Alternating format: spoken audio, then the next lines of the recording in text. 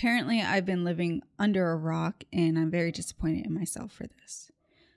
Did you know there is an entire timeline for the next couple of years from now until 2027 of Avatar movies and when to expect them to be released?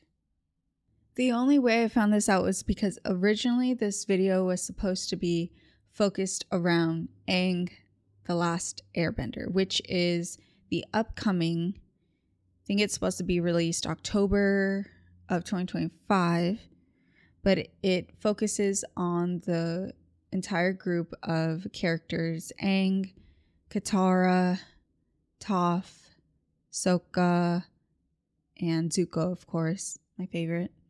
Focuses on them as young adults, continuing the story where previous shows and the storyline left off. All of a sudden, there has been a shift from like Disney, Disney remakes, all that stuff that freaking sucked. And now we're like taking a new course and remembering our childhood in a, you know, in a different category of video games now becoming movies, uh, FNAF, Bendy and the Ink Machine, uh, Sonic, what else? Mario, just to name a few, if that's not all.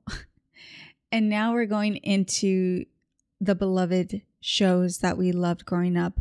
But now it's even more exciting, specifically looking at Avatar, because for me, I was around the same age as the kids in Avatar, maybe a little older, but I still had a freaking crush on Zuko. Okay. And I want to make Zuko a whole different part of this video because I don't think he's getting the freaking recognition he deserves, the voice actor. Because a lot of the news articles I'm looking at, the headlines are like of Dave Bautista, who's playing the, who's voicing the the main antagonist in this upcoming movie, and Eric Nam voicing Aang. And then there's it's always and and also the disrespect. I swear to goodness gracious, the disrespect. Like Dante should be the focus here. And the other newer actors should be the oh and. You know what I'm saying? Like how can you overlook such an icon? Like let me remind you of who the who this guy is. Who Dante Basco is. Rufio. Rufio. looky looky, I got hooky. American Dragon.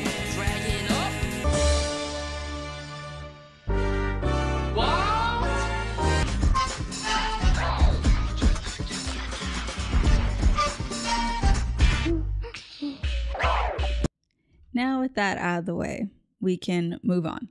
I just wanted to go a little more into what is projected for Avatar The Last Airbender few years. Like, what are we going to be expecting? And I love that they lay it out for us and we can visually see in the next couple of years what their plan is. Now, if we're looking at the timeline, we can see that the start of this huge project in the works. It starts with two live actions on Netflix. So in 2023, Avatar The Last Airbender Book One Water live action was put out there. I've heard mixed reviews about it. I haven't seen it personally, but I, have heard mixed reviews and not a lot of people liked it. if we're moving down the timeline, another Netflix series will or film will be put out, which is book two, Earth. I hope that is going to be better and get better reviews than the first one. It's interesting that they decide to start this whole thing on Netflix.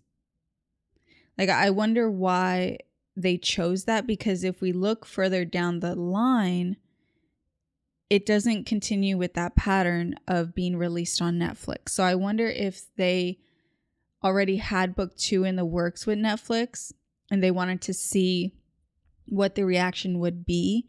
And if it wasn't great, they were just going to ditch Netflix and go on their own and decide, hey, we're going to do it right. We're going to do it our way and not have to work with Netflix. I don't know if they had limitations or whatever. Avatar is going to work, you know, within their company and they'll they'll do their thing. Maybe, maybe not. That's just my speculation. But the two books started off this whole thing. So, book two is going to be released the summer of 2025. Okay. That, I don't know. I'll watch it, sure. But the the one that everyone is freaking talking about because they just started dropping the voice actors for this film with Dave Bautista, Eric Nam, the new as the newer voices. That's why everyone's talking about it. The animated film will be part of a trilogy, which is very exciting. But this one showing the adult team avatar that will be released October 10th, 2025. Now, I'm to be in a seat at the theater watching that and being part of freaking history. it's not that dramatic, but you know, I'm very excited. And then in winter of 2025, they're just like back to back to back. Avatar is getting its its stage. And then Zuko. Now you heard how I talked about him earlier in this video. How how how am I not going to love this? I don't know. But we're going to get a whole friggin' animated film on Zuko and you bet your ass I'm going to be watching that. Yeah. Anything Zuko, I'm in. so that'll be released October 9, 2026. So we'll have a little break after 2025, the end of 2025. But just like FNAF went hard this past year, like we had a, a book, a movie, a, a movie, no. We had like a book, a movie, a game, a game of FNAF, like back to back to back. We're going to have Avatar Last Airbender. Summer 2025, Avatar Book 2, Earth on Netflix. October 10th, 2025, Adult Team Avatar, which I'm the title is Aang the Last Airbender. Winter 2025, New Earth Avatar animated series. And then we'll have a break and then it will be another year, October 9th for 2026, Zuko animated film. So that's kind of cool. But then again, we're going to get a spin off, an animated series I don't know. Is this to indicate that that they don't know what it's about? Spin-off. I wonder if it, when that drops, I wonder what they're going I wonder what they're going to do there. But in summer 2027, we're going to have book 3 on Netflix. So it looks like the books are going to be released on Netflix. Everything else is going to be separate. So I wonder what their deal was with Netflix. I wonder if they're going to focus on another character when it comes to the animated film in 2027, like they did here with Zuko. Maybe it will be about Toph. I don't know. Now, if we're just focusing on the adult animated film, with the whole gang grown up. I swear to goodness. I swear to goodness. Oh, they look great. Aang, 24. Katara, 26. Toph, 24. Zuko, and Sokka. Adult Team Avatar movie is set 12 years after the end of Atla. Oh, Avatar The Last Airbender. I didn't know that was the abbreviation. So, if you want more updates on the Avatar movie where they're all adults now. Um, I was trying to get more information on Avatar news, but it looks like a lot of their updates halted in 2023. I don't know if I'm looking in the wrong section, but it seems like they don't have more recent um, info about Avatar, which kind of um, aligns with how they work. Like it's they're trying to keep a lot of details unreleased right now and will probably start releasing more details as the year continues and enters 2025 the year that the movie is supposed to be released which makes sense right they want the hype to like build steadily in the next year and not start too early Aang the Last Airbender, the first animated movie in Avatar trilogy, will follow Aang as an adult. Plot details remain hidden somewhere in the Fire Nation, but Lauren Montgomery, who worked as storyboard artist on Avatar The Last Airbender and sequel series The Legend of Korra, will direct the animated feature. Yeah, they're they're trying to hide the details, which is understandable. They're slowly releasing voice actors. So that's basically all we know besides the voice actors. And I do want to talk a little more about that. The whole group that we have to voice the characters as young adults, I think is pretty good.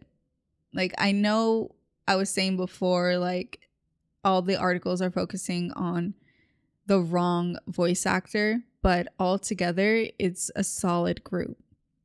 And it seems like they wanted to bring back like that old nostalgic feeling of having Zuko's voice stay the same as in the originals, but they also wanted to add something different that I'm pretty sure they think will add to the characters as they have grown older. So we know Dave Bautista is going to be the main antagonist.